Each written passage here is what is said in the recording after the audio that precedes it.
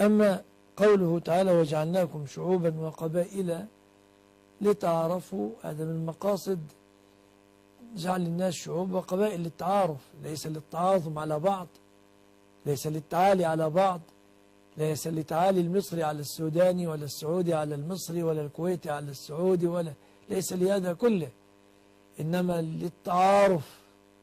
ولذا بعدها قال تعالى إن أكرمكم عند الله أتقاكم. ليس عربيكم هو الأكرم ولا عجميكم هو الأكرم.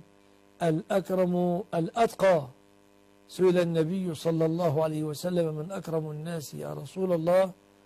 قال أكرمهم عند الله أتقاهم.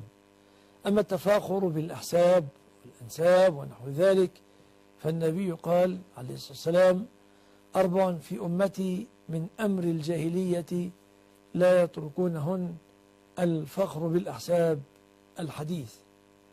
ولا أخفى عليكم أن أبا لهب قرشي هاشمي.